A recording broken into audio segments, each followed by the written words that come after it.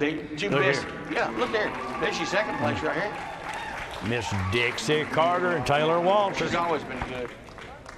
Great horse. I know Molly's proud of these horses. She's I'm got a right to be down. I mean, she's got some great horses I think out she's there. Abernathy Stables. This, this mare.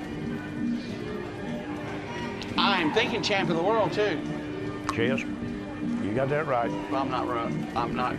My Plumb good. Stats in my I tell you, I tell you one thing other. Taylor Walters is one hell of a jockey. oh, what are you talking about? Great jockey.